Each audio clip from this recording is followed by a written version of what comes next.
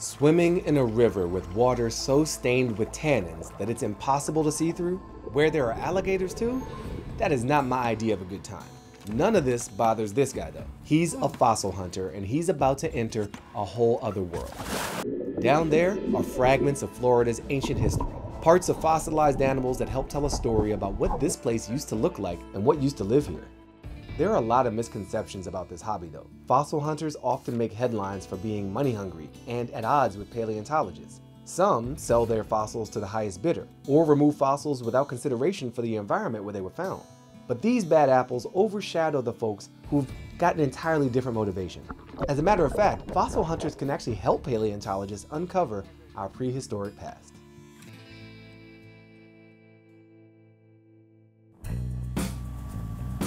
Meet Jonathan Valentine. He's a Florida fossil hunter and creator of the website and YouTube channel Digging Science.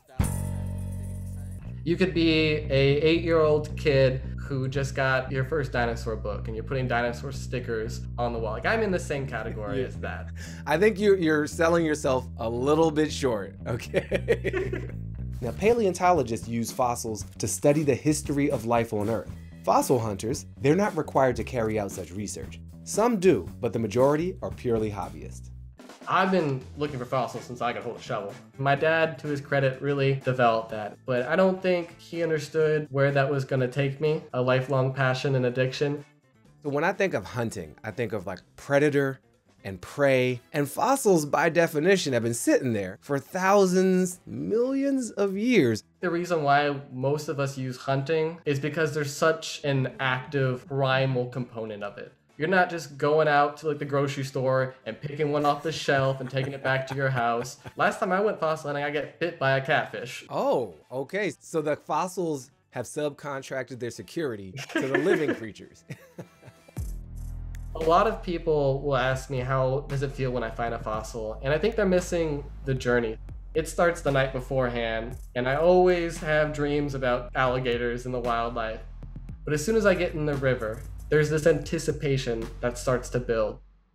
You've got to go actively swimming, looking around edges. You're entirely in the moment. You have no idea what's going to be uncovered, but you can tell that something's around the corner. And that whole process of that anticipation building, that's the best part. And then finding it is just the cherry on top. On to the next spot. Woo! I'm sold on the language mm-hmm. and then certainly the activity of what you're doing with fossil hunting. So, what sort of fossils do you hunt? The majority, at least in the southeastern United States and in Florida, there's two really awesome deposits of fossils that are very common big shark teeth and the extinct ice age animals. And so, those are my two favorite things to hunt. Florida is chock full of fossils, which a lot of people can find beachcombing. But they're not just at the beach. If you head inland to one of Florida's rivers, they can be found there too, along with other bigger stuff. Deep hole right here. So why is Florida such a hotspot for fossils? Here's what Michelle Barboza Ramirez, a paleo professor and one of the hosts of the show Eons, had to say about Florida's fossil history. Earth has changed a lot over the years. Moving continents, massive climate fluctuations, and a whole lot of plants and animals that have come and gone. Here we are about 200 million years ago, and Earth's one big continent is pulling apart. Florida becomes part of North America, and during the dinosaurs' heyday, is covered by the ocean. And that's why you won't be finding any dinosaur bones in Florida. It wasn't until about 30 million years after the dinosaurs died out. The climate cooled, sea levels dropped, and the peninsula we now know as Florida began to surface. Since then, Florida has gone underwater and come up for air a few times. During the last glacial period of this planet, the climate was much cooler and sea levels were thus much lower. Warm water from the Gulf of Mexico moved up towards Florida, protecting it from the more extreme climates found further north. During this time, the peninsula hosted a wide variety of plants and animals, some of which we might recognize, like humans, but many were creatures that we wouldn't recognize. Massive mammoths and mastodons, giant sloths, fearsome dire wolves, huge short faced bears, and even lions. But by the end of the Ice Age, about 11,000 years ago, the climate was much warmer, and all those giants were gone. Anybody that knows fossils knows that the planet is always changing. When the environment changes rapidly or drastically, It really puts a stress on how animals can adapt and survive. Fossils not only inform us of our past climate changes, they also provide insights into our current climate. Paleontologists are currently using fossils to reconstruct what their environments would have been like and how they would have changed. This will help scientists understand how and how much our climate is changing today. We're in what's been described as the sixth mass extinction. We have animals dying off at an incredibly quick rate versus the background, and a lot of that's due to quick changes in climate as well as additional pressures by us. You have to see what I just found. Oh my god, that might be my first rhino tooth. Since fossils and the environment where they're found can be quite useful to scientists, Florida created a permit system for hobbyists who hunt vertebrates. Any vertebrate fossils found are reported to the Florida Museum of Natural History. One thing that they still have of mine is a really cool rhino tooth. We have this running rhino called Menoceras. It comes from the early Miocene, which is like 19 million years ago. That's only a short period that Florida was a landmass when it's normally underwater. And you find a lot of them out west, but you don't find a lot in Florida.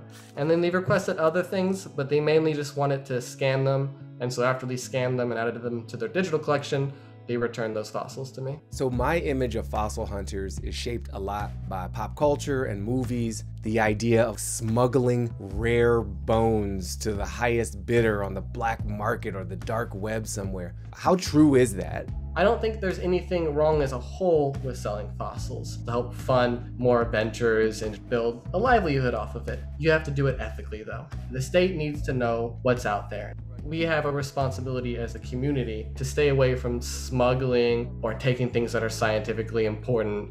Fossil hunters have played a vital role in paleontology. In fact, some have made significant contributions to the discipline. Mary Anning has been called the unsung hero of fossil discovery. She discovered the first known ichthyosaur, a complete plesiosaurus skeleton, a pterosaur, and so much more especially as a like a citizen scientist i think that's a really powerful thing about giving that agency back to the people because it can help push forward science.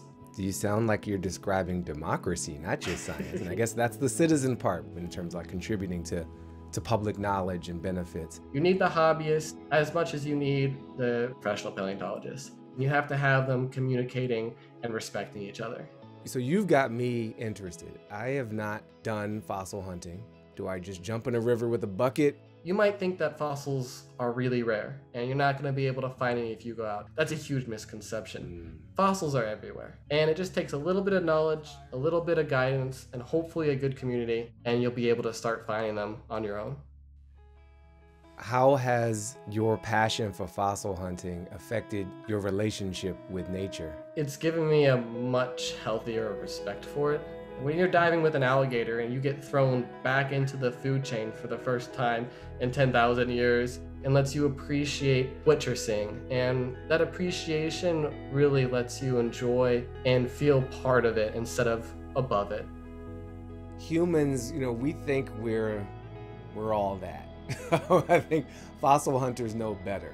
To engage in fossil hunting to me feels like a way of humbling ourselves as a species before the larger project of life. To recognize just how briefly we have actually been on this earth by finding those who used to be here and were here a lot longer when they were. So, humility, humility, humility. It's not always about us. Uh, three, two, one. Oh, sorry, Dolly. I'm so sorry. That dog is hella cute. Not a fossil, but I'm very excited to discover this dog. Thank you so much. Thanks for watching. Do you want more America Outdoors? Then check out our playlist, full episodes. Head to the PBS video app or pbs.org. You're welcome.